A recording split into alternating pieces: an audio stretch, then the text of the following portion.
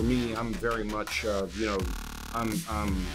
Here's a problem. Let's let's take care of it. I have a solution for that. Our goal when we opened was to provide the highest quality care that was possible at a price people could afford. I literally talk to physicians daily. Kelly, I can't uh, even log in to see my own billing. I have no idea what's going on. I get a report once a month and nobody can explain it to me. I make it a point to train the physicians how to go and pull their own report. I'm going to be on the course reporting tomorrow afternoon. You are. I am. I'm going to follow Jordan Spieth and Will Zalatoris and Scotty Scheffler. I'm not really reporting, but I am going to go watch the tomorrow. Probably drink a couple beers. too. yeah, I might have a beer or two uh, tomorrow afternoon. I mean, that would make my commentary even better. All right, hey everybody, welcome to uh, what is now episode 20 of the Cutting Edge Podcast. Uh, a unique milestone for us. Uh, we have a really cool topic today for those of us in healthcare. Uh, if you're not in healthcare, probably this is going to bore you to tears. But uh, we are going to be talking about Stark Law changes coming in 2022. But before we jump into that with our uh, our esteemed guest Kevin Mitchell, and is it Kevin Mitchell Esquire? I don't use that. I don't use that uh, suffix. No. Uh, so uh, before we do that, we're gonna give we need to give some mentions to the folks that have helped support us and and get us here. Uh, so Texas Assist, which happens to be my firm, Surgical Assist Staffing Group, Carrington Group, uh, Gordon Highlander, uh, of course Weaver Johnston Nelson, great um, healthcare specific uh, law firm here in Dallas.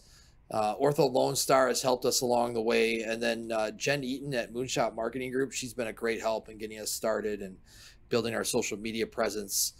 Um, but a, a great shout out and thanks to, to all those folks that have helped us uh, get going and keep going. It's uh, it's been a labor of love thus far. We haven't had a ton of viewers, but we're picking up steam. So.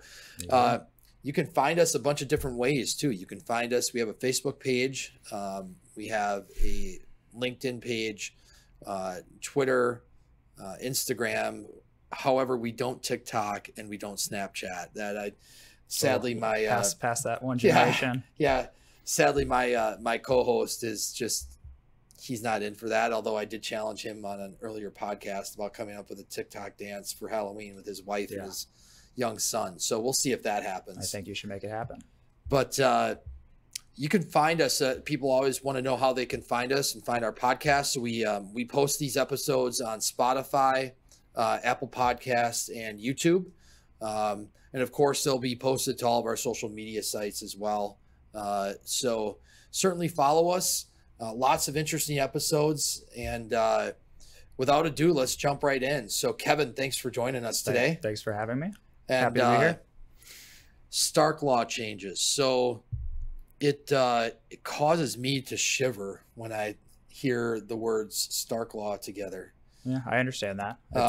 It's, not the most fun regulation to deal with on a daily basis. Yeah. So, So, before we jump into that, tell us a little bit about you and Sure. and uh, and your affiliation with Weaver Johnston Nelson. Sure. I uh, my name is Kevin Mitchell, as CJ said. Uh, I am a senior associate at Weaver Johnston Nelson. I think I've six years now been with the firm. Um, I basically am a regulatory healthcare attorney that also does some transactional work. So, kind of the full gamut of healthcare work. Um, our firm focuses relatively exclusively on healthcare work, as you know. Um, our clients range from licensed providers individually to facilities as well as healthcare businesses.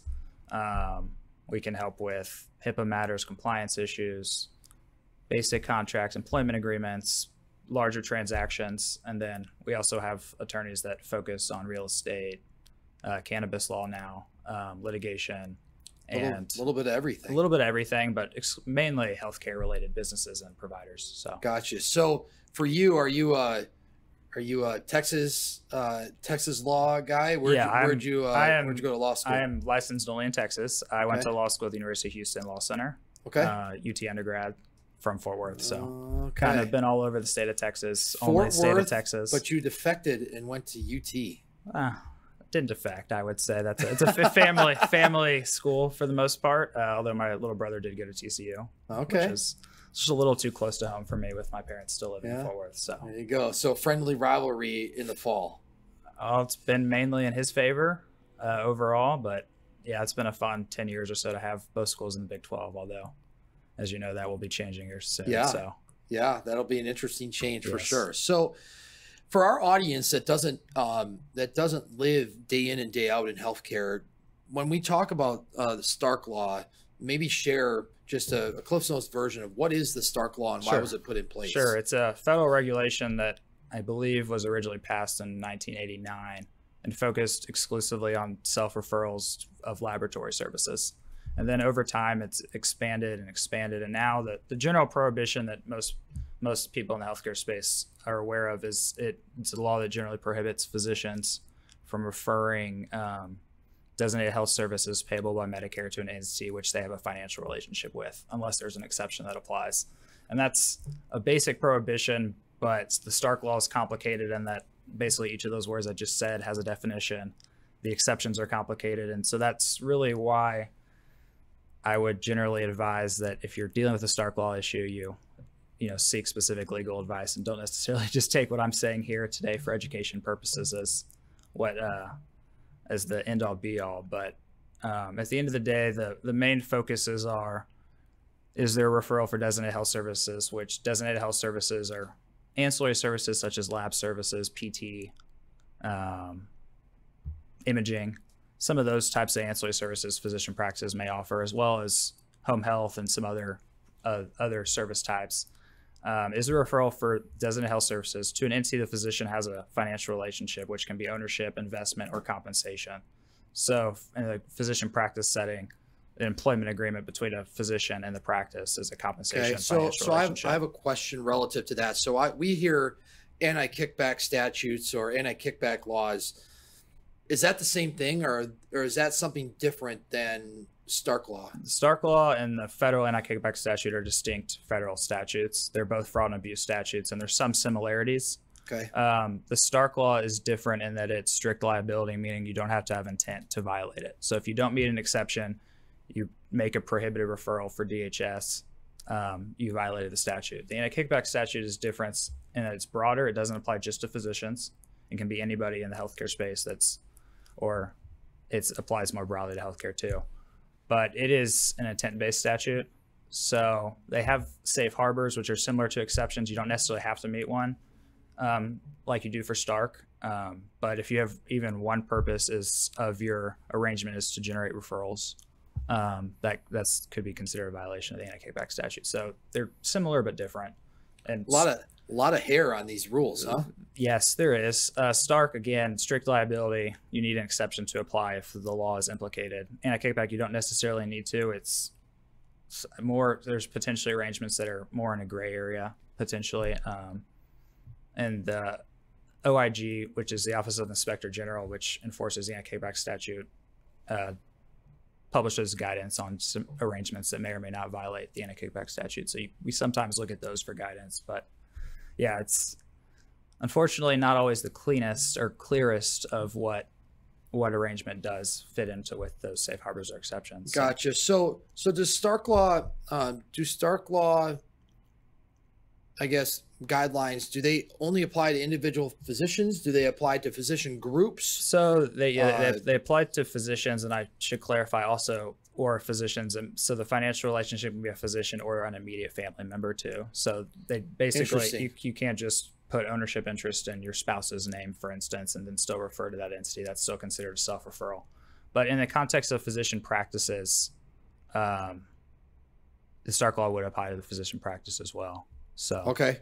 Well, and I think that's kind of where we're headed with our conversation today, because part of what part of the reason we're having this conversation is that there was a an orthopedic practice administrators meeting that happened here in the DFW area uh, a few weeks back, and Josh Weaver, um, one of your our colleagues and- managing member at our firm. and Yep. one of the managing members gave a very very brief uh, kind of express overview of the group practice changes coming um, in 2022 and there were more questions about his little brief presentation than any other presentation that day so if you could um, maybe start to unpack some of Yeah. those group practice changes that are coming January 1st? I think that'd be a great place to start. Sure, sure. So those what you're referring to that come into effect January 1, 2022 were a part of a, uh CMS final rule that came out the end of 2020 and the majority of that rule went into effect on January 19th of 2021. However, the group practice changes that you're referring to, they delay the effectiveness until January 1, 2022. So the general overall purpose of this final rule was to clarify and modernize parts of the Stark laws. I think the definition of what the final rule was. And specifically with respect to group practice changes, they delayed the effectiveness of those specifically to give physician groups time to potentially change their compensation plans. And the primary changes related to what's characterized as overall profits. So, in the group practice context, and it's group practice is a defined term, as is every Stark law word, um, at 42 CFR 411 352 outlines certain requirements to be considered a group practice. And most physician practices would want to be able to meet those requirements so that then other exceptions to the Stark law are more easily met. But specifically in this context, the overall profits concept allows group practices to distribute shares of overall profits related to designated health service revenues. So imaging revenue, lab revenue, et cetera. And the changes, the primary changes, although if you look at it, doesn't seem like they're significant because there's slight wording changes. One of the primary changes was CMS clarified that the group must aggregate revenue for all designated health services. So that basically means that you can't just pay off just laboratory DHS. You got to aggregate laboratory and uh, imaging together together before you decide how you're going to distribute that to the group. And then either you have to distribute to all of the group or you can divide your group practice into components of 5 and potentially distribute differently there. But the primary difference is you got you can't do split pooling or service by service to where you just choose one designated health service line and just distribute that. You got to aggregate all together. That's interesting. And that's so essentially, if you have a physician group that is in these arrangements with imaging and laboratory services and physical therapy and surgical assist services and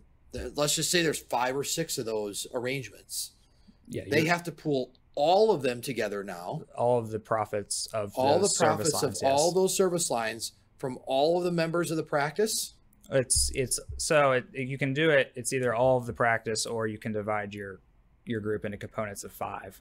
Is the is okay the when you say components of five you So mean if you have ten physicians, you could have two separate components of, of five physicians. got it And each okay. of those components, you could potentially pay the overall profits differently. So if in one, you could pay, say, we aggregate a hundred thousand in profits, we could do a per capita basis in one, and then Okay. the other one we could potentially pay at the same percentage as we pay other non DHS revenues. There's different ways you could determine the profit or the profit distribution, but you you have to do it if you if you break it up into two components. All the one component group of five and all the other component group of five have to be treated the same in those components, or you Got can it. keep everybody together. It's again, so you basically basically you have it's you have to whoever's in that group you have to treat them all the same correct but you can tr- tr- treat people in two different groups Yep. differently if you have that number of physicians. if you have that number of instance. physicians Yeah. but you have to have five physicians in a group Well, if you have less than five, you just have to treat all three. But you had- three the just- okay, yeah. got so it. it's, So- it's somewhat confusing, but they added that component group of five clarification in these changes. interesting so what do you what do you think the net effect of, of that is going to be i mean have you had clients come to you for counsel on this to say how do we need to change this? Do you have you had clients come to you and say, "Well, we're just not going to mess with that anymore"? I mean, what what's been what's started to occur with your firm? What what have you heard from your clients? I mean, is there is this alarming? Is this good? I, I don't think it's alarming per se. I think we've had lots of questions about how to evaluate current compensation methodologies and whether or not they comply with Stark or if they've complied with Stark all along. Um, those types of questions, and it's come up more so, and we've done a few restructuring of some physician groups, and it's come up with setting compensation methodologies going forward. Um, but overall, I, I we haven't had clients that are too alarmed with these changes. I, I don't know. Generally speaking, if if the industry's had, I have not seen crazy commentary that people are way against this or anything, but I think that the concept of not being able to split pool explicitly is the potential major change there. Um, and then there was just lots of clarification on generally what kind of, you know, does a group have to distribute profits? Can we withhold some money? Those types of things that CMS opined on as well, um, which we've So so maybe so so share a little bit on that, right? Because most my I guess my thought you just said something that was interesting to me, which is dollar in, dollar out. My assumption's always been that a physician group makes a dollar, that they're going to want to push the dollar out to the members of the group, right? They want to distribute the money out. But what is this particular? Well, you so I mean, change. essentially, it's not necessarily a, a change here. It's more clarification, but essentially, CMS just said you don't have to necessarily distribute over profits if you don't want to. I mean, the group could choose to retain Okay. retain money, um, those types of things. Um, and then there's clarification on just how you potentially can determine different components of the group, um, whether it be by specialty or location or something like that. Um, and it, and then it, and then there was just some more additional clarification on a different concept other than overall profits, which is personal productivity bonuses, which was there's two different compensation um, methodologies in the group practice uh, definition, um, which the personal productivity bonuses is being paid on personally performed services or those incident to your personally performed services, and that didn't really change, but there's just additional commentary on that as well. So. How often changes like this happen? I mean, this this this seems like This was really really detailed. Well, yeah, and this was just part of it. I mean, it's a few hundred page rule. Um, overall, this this this time this was a major overhaul for Stark Law changes. I mean, there's commentary, let's say on an annual or semi-annual basis with respect to addressing people's comments on what they would like to see changed uh, with the Stark Law, and occasionally there's new exceptions added that we can talk about some of what those look like as well um, that are added over time. Um, but this was a more major overhaul where they not only revised this group practice definition, they went through and revised some of the basic definition, definitions, basic concepts of the exceptions, added some new exceptions around value base, which we'll get into in a little bit. Um, Yeah. so, So, this ma- was this was a this was a bigger overhaul, and at the same time, the anti-kickback statute was also changed as well. So there was a joint effort there to issue two rules at the same time. Interesting. So, so maybe go into some of those exceptions exceptions Sure. that you just mentioned that that were changed or they were added. Yeah, so just generally, again, Stark law strict liability. So you need an exception to apply if you want to refer to an entity that you have a financial relationship with. And there's ownership, investment, compensation. And there's different exceptions for each of those financial relationship types. Um, ownership compensation, the one that group practices most often will strive to meet is the in-office ancillary services exception, which essentially focus on who's providing the service, where it's provided, and who bills. If you meet all those requirements of those three categories, you can provide in-office ancillary services like imaging. That's one that applies to compensation and ownership. Ownership specific, I mean, there's an exception for publicly traded securities, mutual funds, and then ownership in certain provider types like hospitals, which, as you may be aware, the ACA banned physician hospitals going forward or changed the whole hospital exception more technically.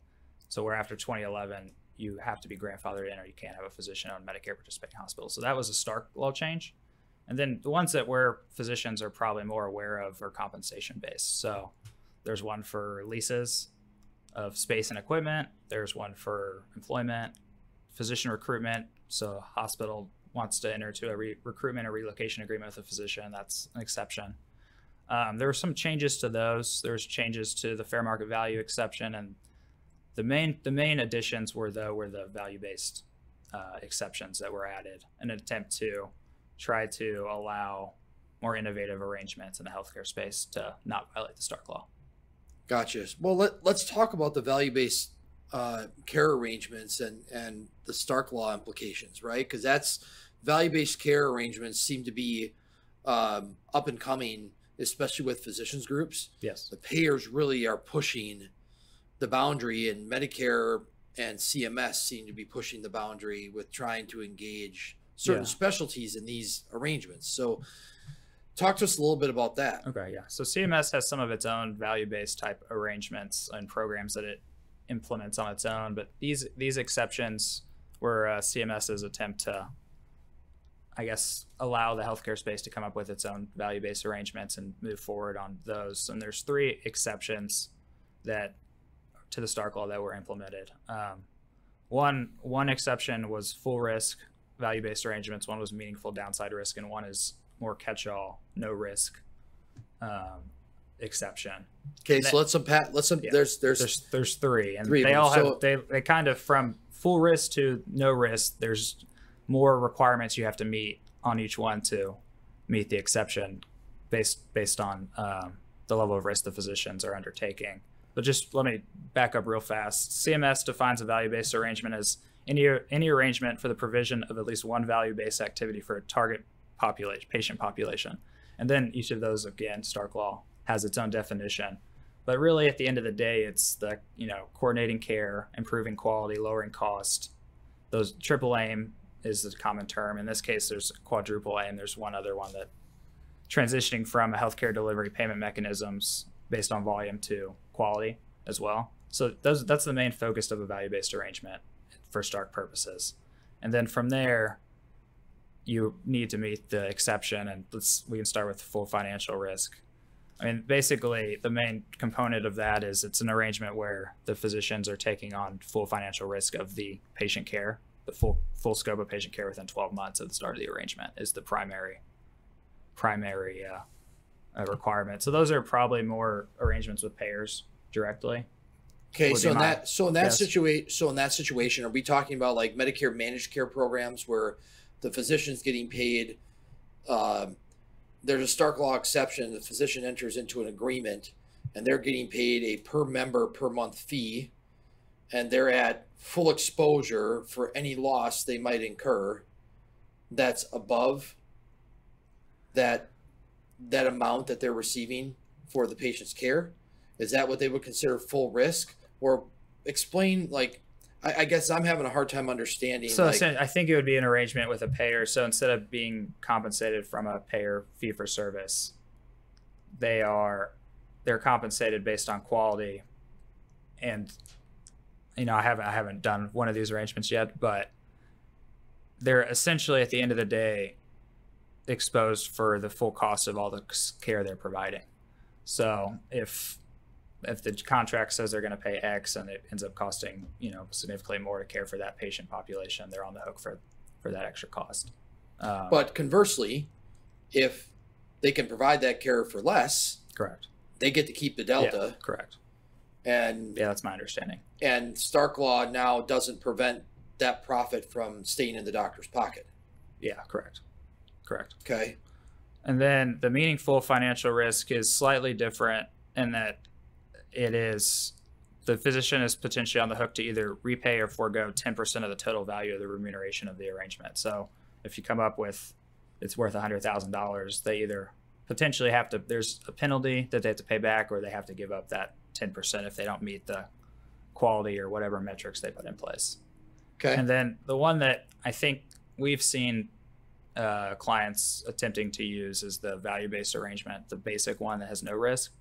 Um, and it it could be the example CMS gives in this case is a hospital believes a dual modality, a different type of test for cancer screening is more effective than the one physicians are currently using on its medical staff.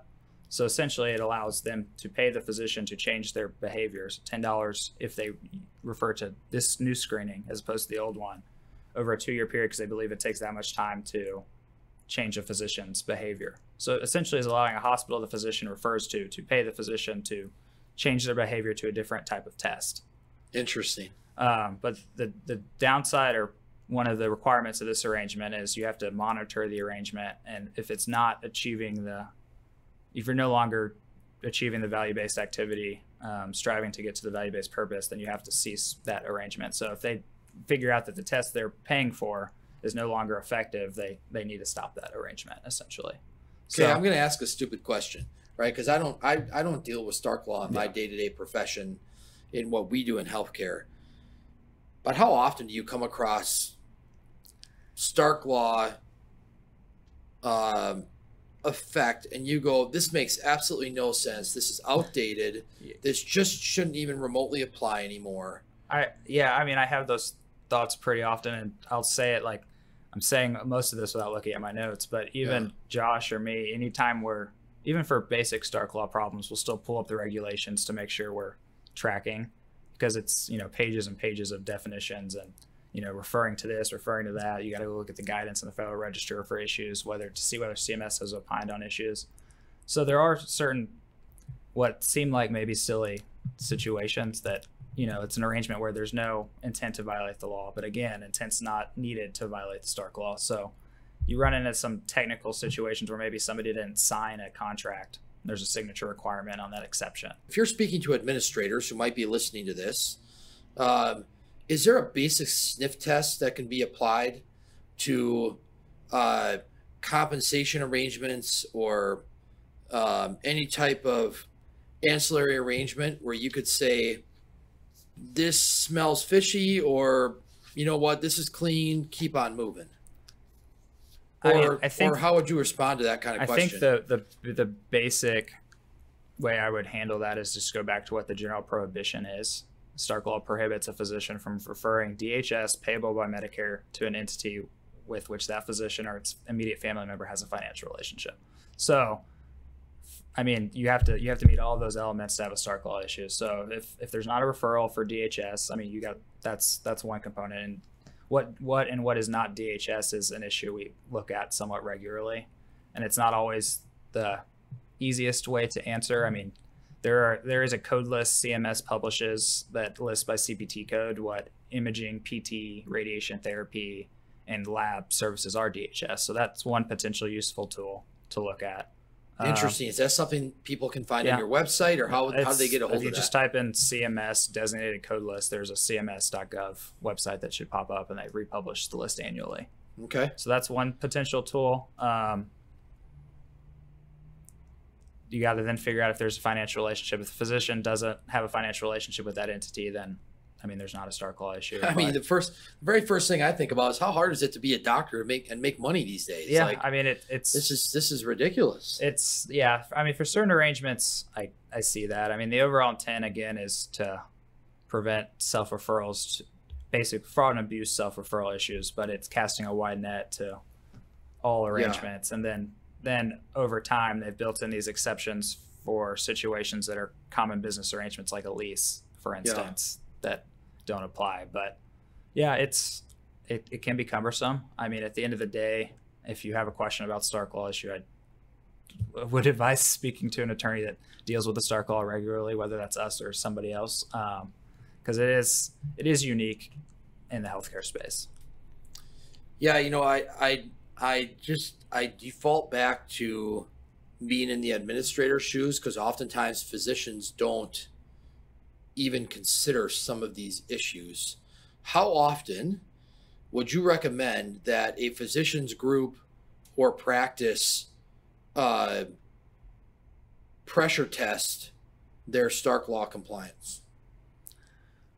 Um, I don't have a specific timeline per se. I would say, for instance, if they're changing comp- physician compensation methodology is one example. Um, if there's an employment agreement form or template they plan to use regularly, to have that looked at at the front end and then not change it without talking to an attorney over time. Um, it, and then really, I mean, generally any contract that's not a normal like that's with another healthcare provider or an entity with which the physicians may refer, such as a hospital, like a coverage agreement for an ED or something like that. Um, Okay. It's really those those are the main areas. Um, I mean, if it's a contract with a cleaning department or something, that's not going to be a Stark issue. Right. Probably. I mean, stuff like that. But at the end of the day, it's going to be contracts with any entity that your physicians have a financial relationship with, or any arrangement, if it's a management agreement or something like that, or a hospital or facility. I would recommend talking, at least talking with an attorney or running some traps on whether you think the Stark Law applies or not. Okay, so let's let's talk. Um, and if you again, if you have time, or um, you know, we've got a few minutes left. I, I think people would love to hear about any changes to anti-kickback statutes, um, or uh, any of the other kind of what I would call related rule changes in this area of healthcare. Sure. Um, anything that comes to mind that people should really be aware of? Yeah, I mean, anti-kickback statute. The I mean, the overall um, law did not change too much. There were just changes to the safe harbors. They had similar value-based uh, safe harbors come into play, although they are they use similar terminology to the Stark Law, but um, they're pretty different in that the safe harbors don't of the anti-kickback statute don't protect monetary remuneration, so it's just in kind. So a lot of a lot of arrangements that may meet a Stark exception are not going to fully meet a safe harbor. But at the end of the day, that's like we talked about at the beginning. Um, not meeting fully meeting a safe harbor doesn't necessarily mean you've violated the anti-kickback statute. It's a intent-based analysis. The OIG would look at the entire arrangement if they scrutinized it. Um, we do generally recommend, just as general practice, to try to meet as many elements of a safe harbor as possible, if even if you're not going to fully satisfy one. Um, so that's that's one thing that the, they had similar value based um, safe harbors. There were changes to some of the other basic safe harbors as well. Um, I didn't spend a bunch of time preparing those, so I, am not that's off the top of my head. I'm not remembering anything Well, crazy so, significant uh, that I think we need to talk about right now. But yeah. So I, you know, I guess last question for me, and and this may be a question for the audience, right? Because it's essentially impossible to be 100% compliant all the time with the complexity of all these rules and regulations. So, in your experience, in your firm's experience, if somebody is doing the best they can with what they know and what they have, and they uncover a violation, they come across something that happens, what should they do? I would I would reach out to an attorney first off. Um, I mean, they may depending on what law we're talking about, there may be affirmative reporting obligations to the government that they violated that law. Uh, they're also like for HIPAA, for instance, um, and I don't deal with OCR investigations. There's a notification to patients process, notifications to the government process, and that varies based off the number of patients whose PHI was affected. So I mean, it depends on what the violation is. Um, are there always affirmative reporting requirements? No, not necessarily. But I mean, the the level of risk with not reporting varies as well. So it's, I would say, reach out to a, a healthcare attorney to discuss discuss those potential violations.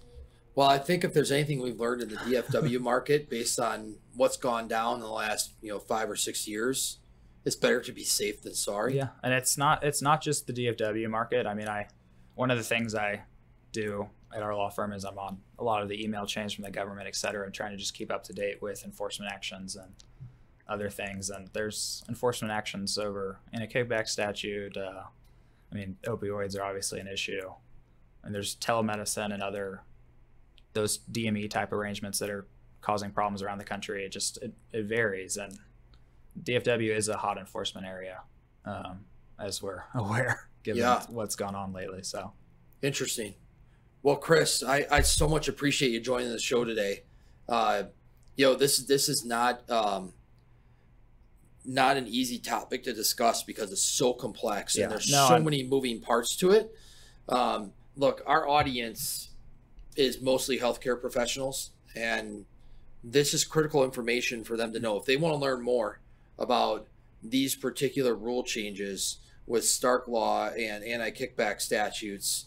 Um, where can they find more information? So we've written some short summaries on our we have on our website weaverjohnston.com. Um, there's also, I mean, if if you type into Google Stark Law Final Rule 2020, I mean, you're gonna every law firm has written about these. There's news releases all over the place. Um, you can get full copies of the rule, although I wouldn't recommend reading those if you're not used to it because Yeah. it's hundreds and hundreds of pages. But yeah, at the end of the day, you're right. I- These the way that these laws are written, and I've said it a couple times. It's it's hard to talk about because you have defined term after defined term, and you really just have to keep tracking and tracking. And at the end of the day, you, you might not find find the answer anyway. So yeah, so yeah, it's uh it's one of those that even doing it and looking at the Stark Law regulations probably daily, I still need to go back and pull them up. it makes me realize I really shouldn't be an attorney. I, I wasn't built for that. Yeah, and I, I mean, yeah, it's although I is I mean it is one of those that it is interesting